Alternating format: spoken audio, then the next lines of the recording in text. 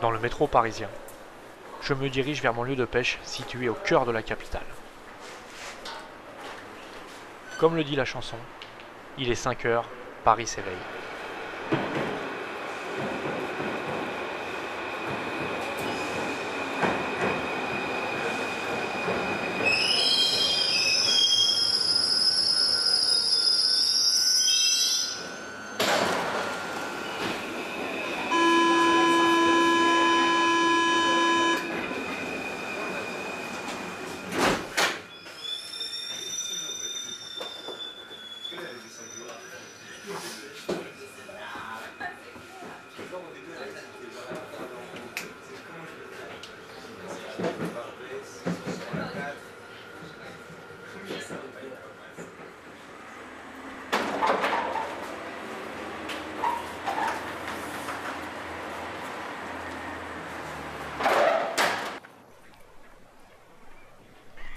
Nous sommes mi-mars, les arbres sont encore nus, mais la météo annonce une superbe journée. Je décide donc de tenter ma chance sur un canal, ce qui constituera ma première partie de pêche de l'année.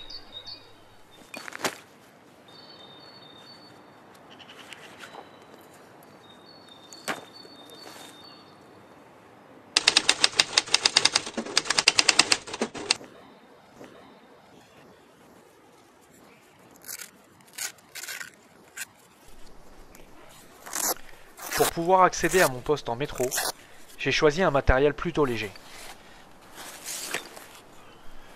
Rodpod compact, épuisette en deux morceaux ou encore canon 3 brins font donc désormais partie de mon équipement.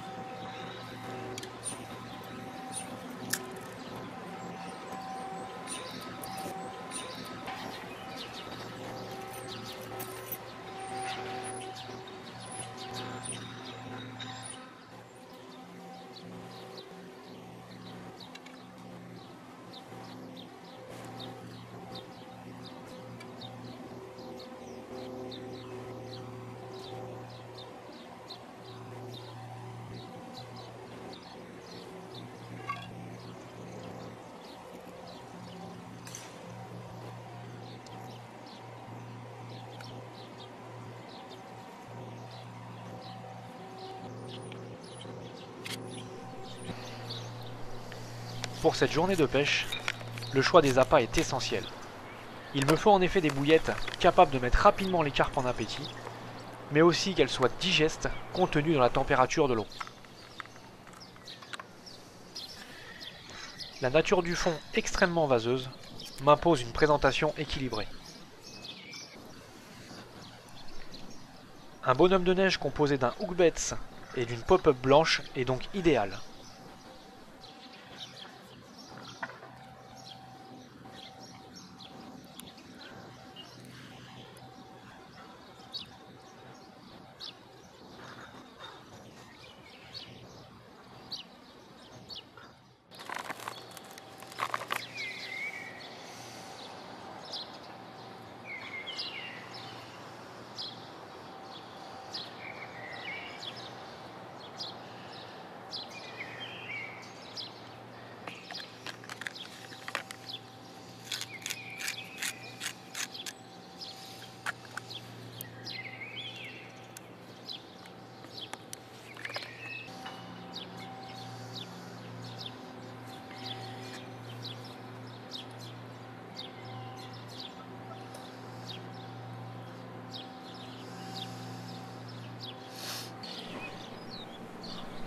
Pour augmenter l'attrait autour de mes montages, chaque ligne reçoit un stringer composé de 5 bouillettes.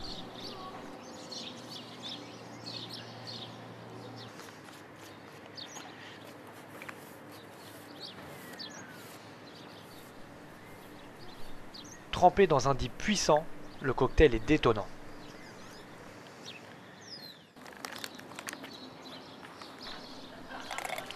Bien souvent, les canaux ont une topographie monotone. Il convient donc de placer les montages sur des spots où cette monotonie est cassée. Dans mon cas, les abords des péniches ou encore les piles de pont semblent tout indiquer.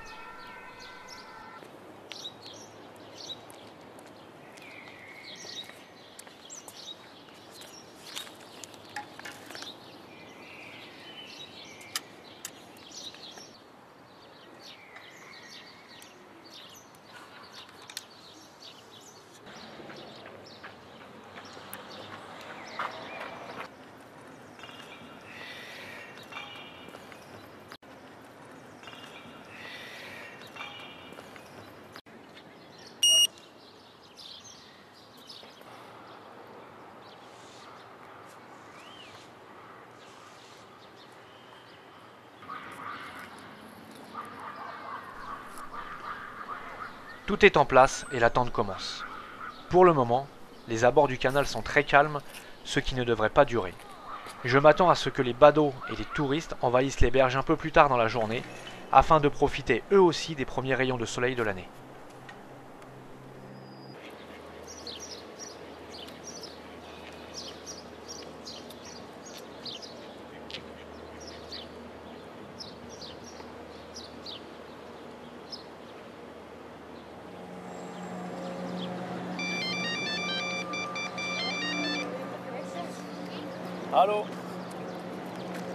Salut Edouard, ça va? Ouais, impeccable, impeccable. Bah non, non, toujours rien là. Ça fait, euh, ça fait deux heures que, je suis au canal là. Mais, euh, mais toujours rien. Bon, l'eau est encore un peu froide, mais bon, euh, moi j'y crois bien, j'y crois bien. Je sais qu'aujourd'hui je vais pas faire. je vais pas faire 10 touches, mais bon, un ou deux poissons c'est envisageable. Ouais, ouais, non, mais je vais insister un petit peu. Tu passes? D'accord. Avec les sandwichs en plus. Ok, bah je t'attends, je te dis à tout à l'heure. Jérôme. Ça va Edouard Super et toi Bah ça va. Alors, qu'est-ce que ça donne Bah toujours rien. Mais bon, euh, on va manger un petit morceau et puis je pense que ça ira mieux après. Ça marche. Bon bah bon appétit mec. Hein. Merci, toi aussi. Bah tu l'as pêché toi le, le canal euh Ouais, je l'ai pêché il y, a, il y a quelques années. J'avais fait quelques poissons, euh, avec quelques-unes avec des écailles. C'était très joli. Et euh, j'ai eu quelques résultats ouais, il, y a, il y a quelques années. C'était assez sympa à pêcher à l'époque. ouais. Ouais bah moi aussi je l'avais je l'avais pêché euh, bah, il y a quelques temps là. Bon j'avais fait quelques, quelques poissons sympas aussi, il y a du poisson à faire. Bon là je pense qu'on est peut-être un peu, un peu encore tôt dans la saison mais bon. On va persister quand même, on va insister aujourd'hui parce que, parce que je le sens bien, ça se réchauffe. Et euh, je suis persuadé qu'on va faire du poisson. Puis j'ai mis des appâts euh, qui sentent assez fort, tu sais, des, des bouillettes Monster Crab. Ouais. Et euh, comme c'est un fond assez vaseux, c'est vraiment un appât qui se détache du fond. Et je pense que ça, ça peut faire la différence. Ouais,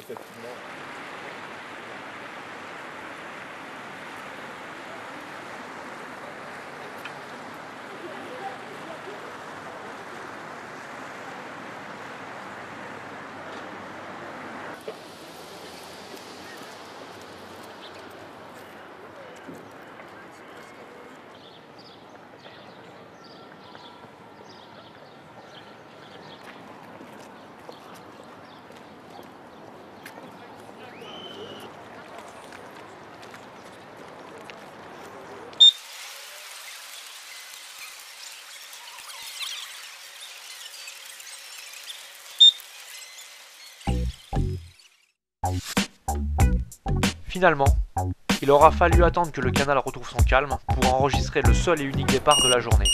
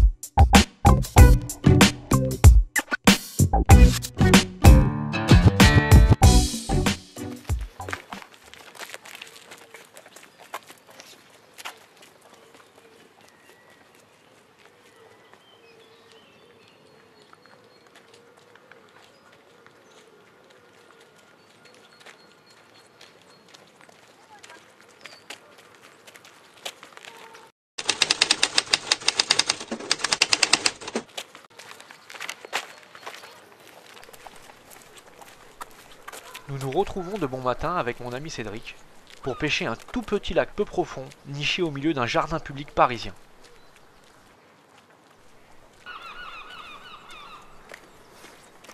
Nous ne savons pas grand chose de ce lac, si ce n'est que la pêche y est autorisée et que les pêcheurs au cou y réalisent de belles bourriches. Nous espérons bien entendu y trouver quelques carpes.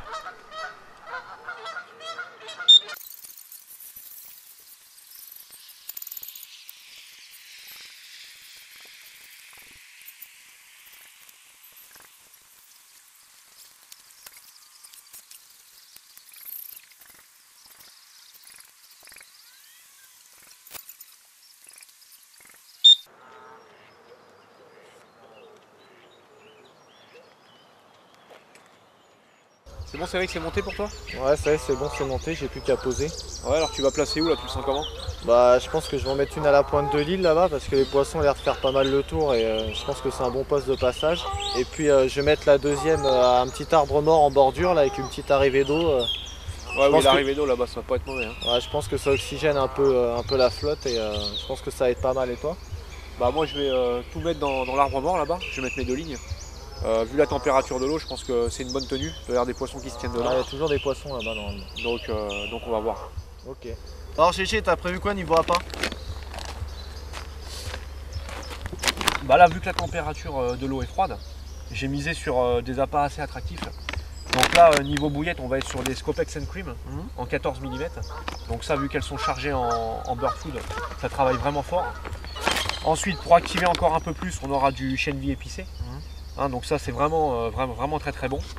Et euh, j'ai pris aussi un peu d'asticot. Hein, ça, ça va bouger un peu au fond et je pense que ça va décider les carpes à mordre. Voilà. Ouais, moi ce que je te propose, euh, Jean-Marc, il m'a donné un peu de- des nouveautés là, de l'Easy Stick Amp. Et je pense que je vais faire quelques sticks pour stimuler encore un peu plus. Bah très bien, tu prépares quelques sticks et puis on mettra ça au bout Ok, vas-y, c'est parti. Allez.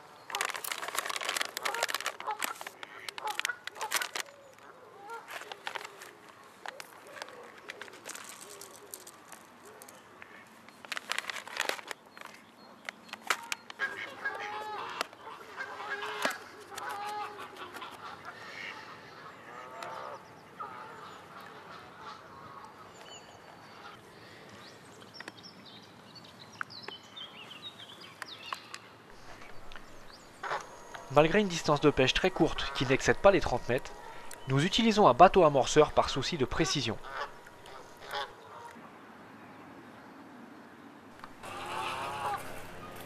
En effet, Celui-ci nous permet de déposer nos montages en toute discrétion au ras des obstacles.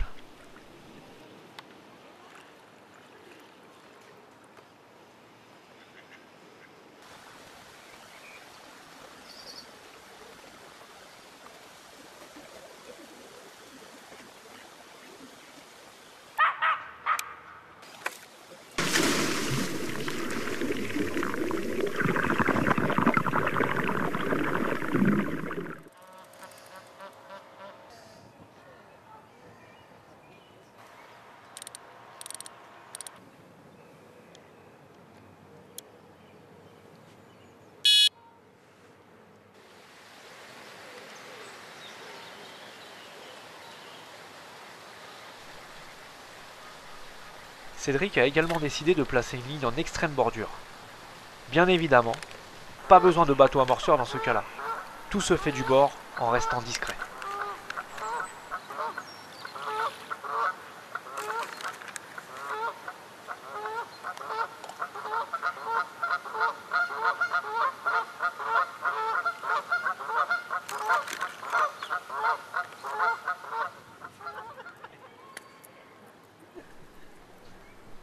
Nos quatre lignes sont en place et comme à notre habitude, nous partagerons les départs. Nous ne le savons pas encore, mais nous allons vivre une journée exceptionnelle.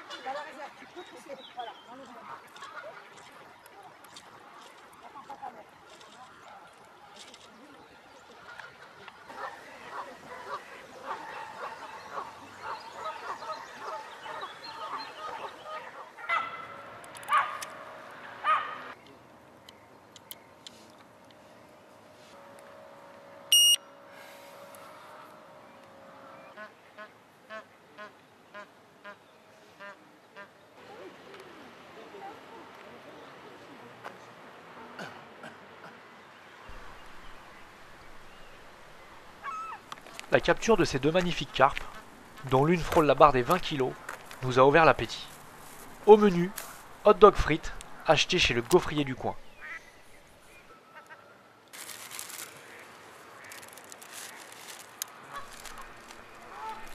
Mais malheureusement pour nos estomacs, les carpes ne nous laisseront qu'un trop court répit.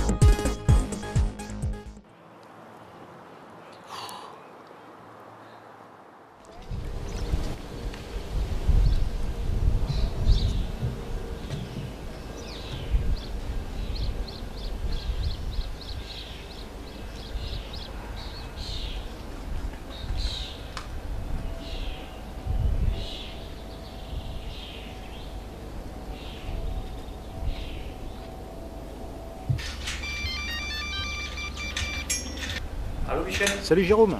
Euh, Dis-moi Jérôme, tu en es où là? Euh, bah, Je suis chez moi en train de faire les sticks. Euh, Comment ça, tu es chez toi? On avait rendez-vous à 6h sur les berges. À 6h. Il me semblait que tu m'avais dit 7h. Non, non, 6h. 6h Bah, je vais être à la bourre. hein. Tu vas être à la bourre. Euh, ce que t'as qu'à faire, t'as le matériel avec toi? Oui, ça y est, j'ai déchargé les, les deux bateaux partenaires. Ok, si ça te dérange pas, commence à les monter. Moi, je fais au plus vite. Bon, écoute, je m'en occupe, je commence à les gonfler, il n'y a pas de souci. Ok, je fais au plus vite, à tout À l'heure. l'heure Jérôme, ciao.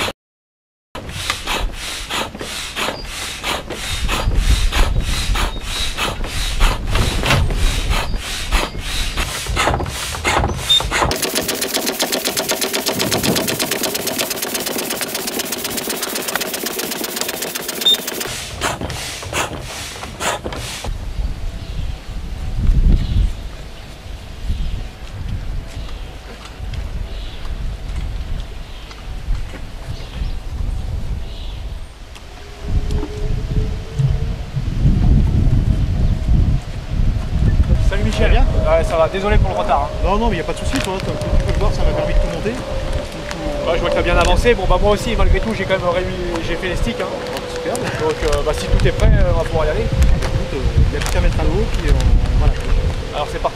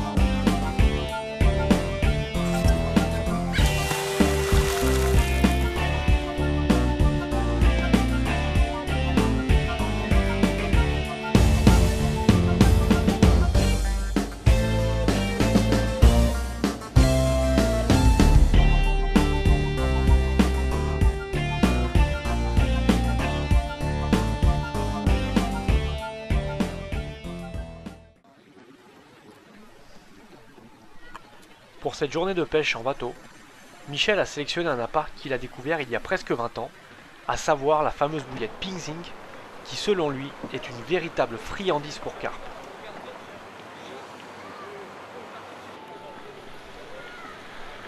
Pour inciter les carpes à venir nous rejoindre sur le bateau, nous allons abuser des pop-up rose fluo boostés et présenter en bonhomme de neige ou en cadérigue. Nous sommes certains qu'en choisissant la bouillette Ping Zing, les carpes devraient répondre présentes. Accompagné de quelques sticks au foie, l'ensemble est irrésistible. Voilà, on va envoyer ça près du mur et on va voir ce que ça veut donner. Le poste que nous pêchons se présente sous la forme d'une grande digue que les carpes aiment longer lorsqu'elles sont en quête de nourriture. Nos montages y sont donc lancés au plus près.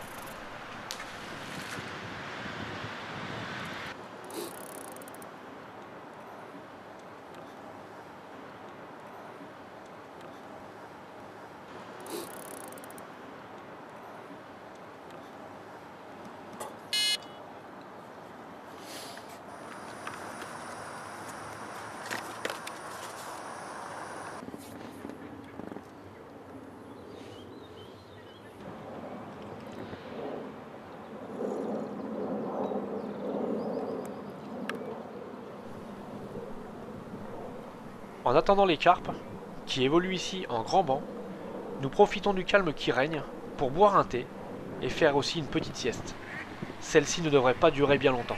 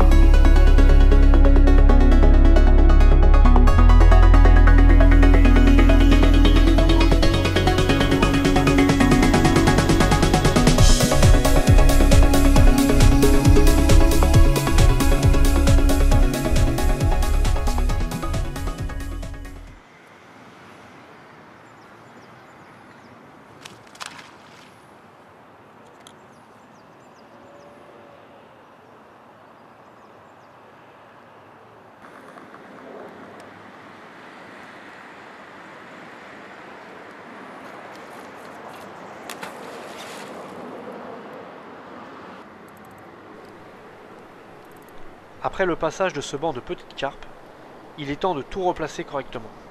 Pour ma part, je décide d'utiliser ma botte secrète.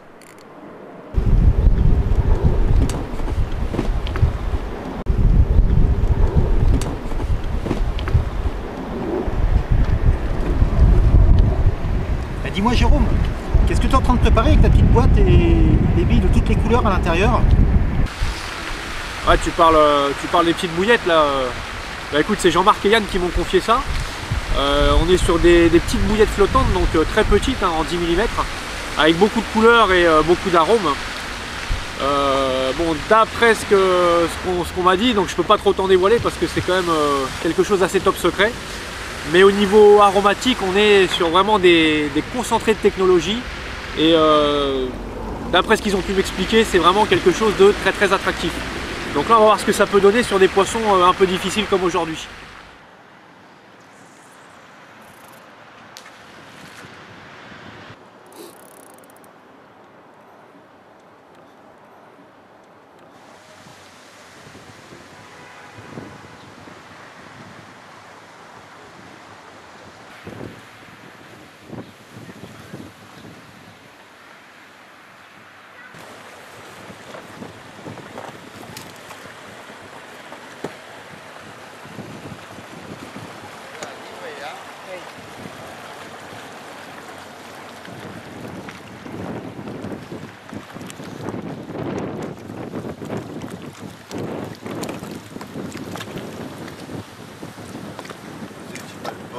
Ça. C'est bon de pêcher en centre-ville, hein. Merci monsieur Cathy. Et, en plus, ça me choque, vous avez même une bouteille de pétia offerte. Bon appétit Aujourd'hui, pour le repas, ce sera pizza. Pour une pêche en bateau, on a déjà vu pire.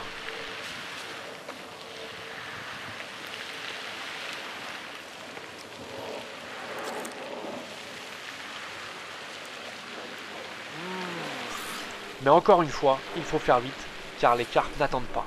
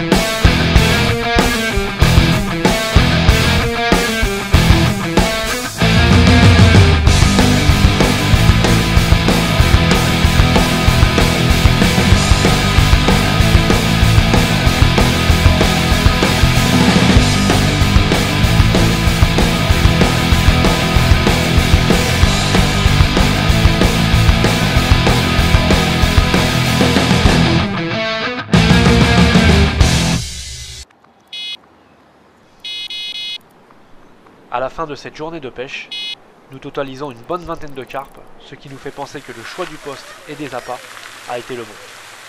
Il est maintenant temps pour nous de rentrer sous ces magnifiques images.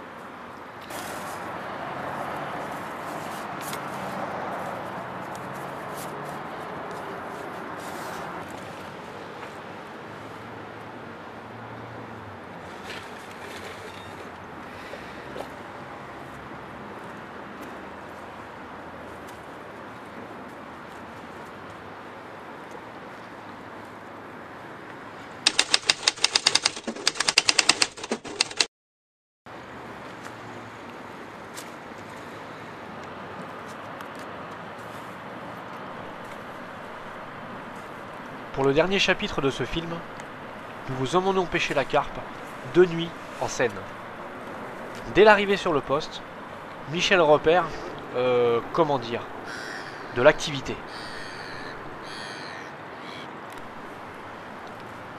Pour ma part, je suis une nouvelle fois en retard et Michel commence donc à monter le matériel sans moi.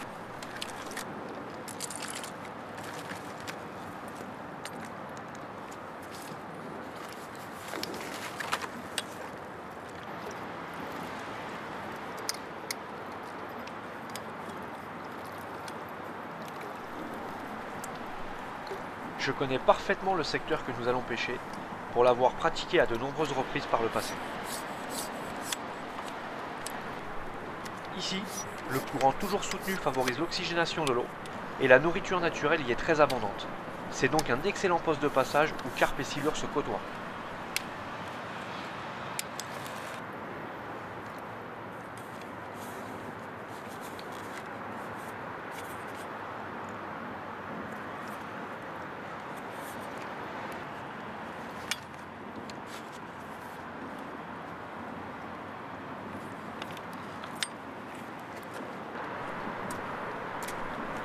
Étant donné le peu de place dont nous disposons, nous ne pêchons qu'avec un seul rodpod et nous partagerons les départs.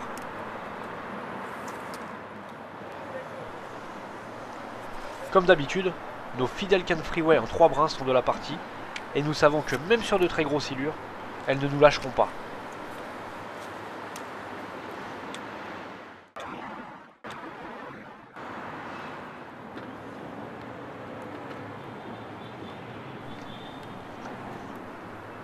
Les fonds de notre poste sont très encombrés et de nombreux rochers ainsi que des câbles d'amarrage gisent dans les profondeurs de la Seine.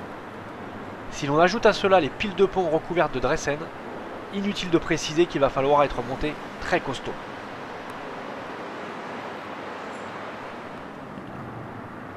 Nous utilisons donc un montage sécurisant pour le poisson à l'aide de matériaux tels que le Shadow en 50 centièmes ou le Milspec Shock Leader en 60 centièmes.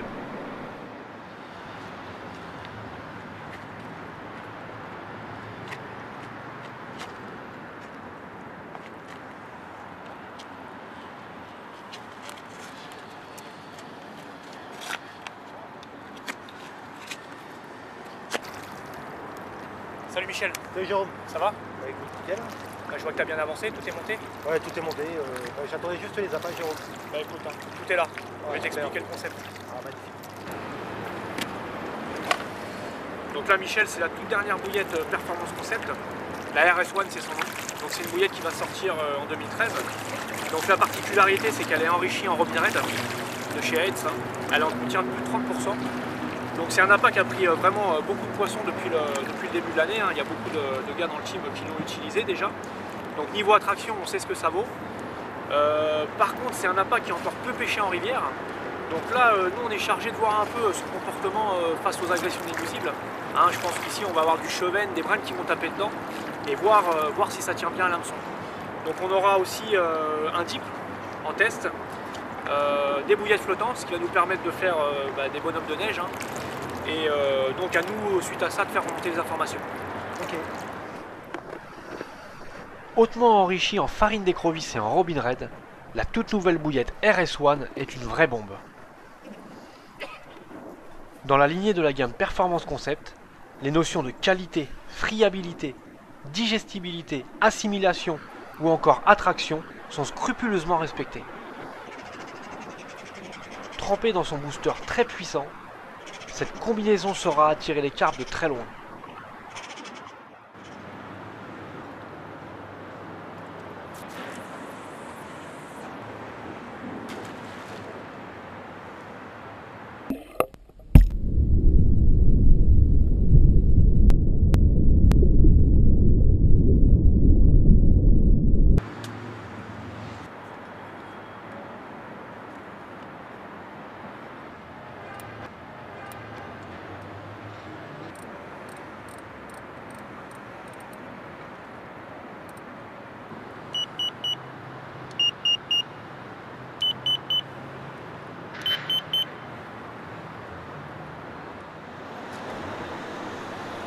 N'ayant effectué aucun amorçage préalable, quelques bouillettes sont disposées autour de chaque montage.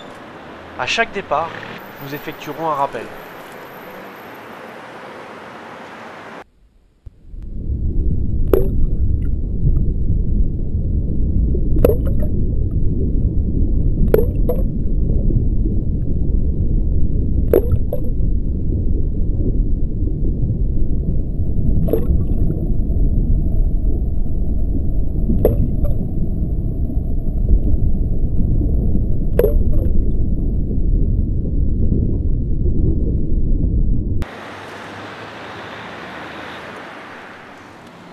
Ce c'est moi qui suis chargé de préparer le repas. Au menu, j'ai prévu un hachis parmentier déshydraté.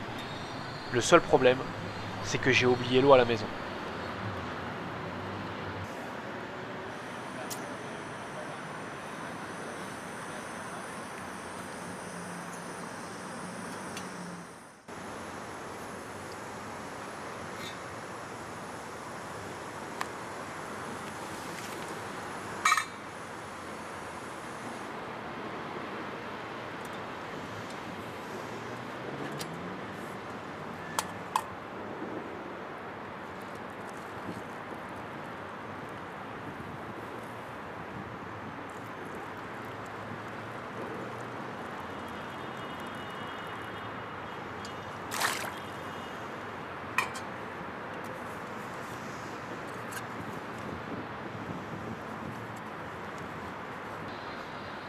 C'est bon, c'est prêt.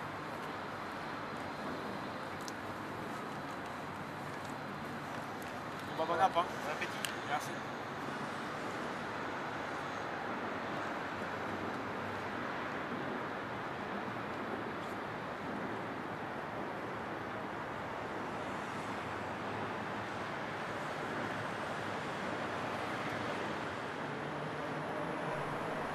La nuit commence à tomber et les choses sérieuses vont bientôt démarrer. En effet, nous avons constaté que sur ce secteur, l'activité est essentiellement nocturne.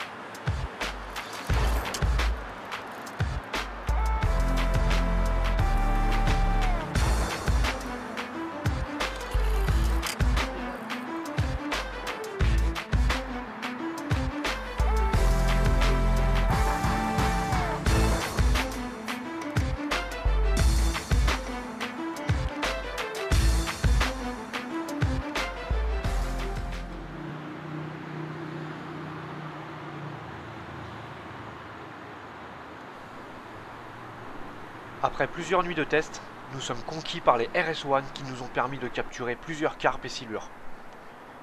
À n'en pas douter, ces petites bombes vont faire énormément de bruit au bord de l'eau.